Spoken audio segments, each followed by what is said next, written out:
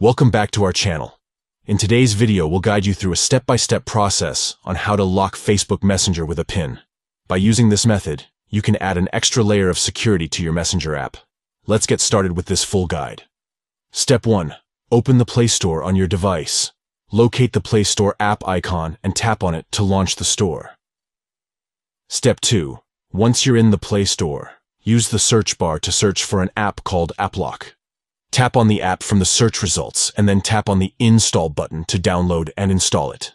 Step 3. After the installation is complete, tap on the Open button to launch the AppLock app. Step 4. Inside the AppLock app, you will see a 123Q icon in the top right corner. Tap on it to access the app settings and PIN setup. Step 5. In the PIN setup screen, type in the PIN that you want to use to lock Facebook Messenger. Once you have entered the PIN, tap on the checkmark icon or the OK button to confirm. Step 6. Retype the PIN code to ensure accuracy and tap on the checkmark icon or the OK button to proceed. Step 7.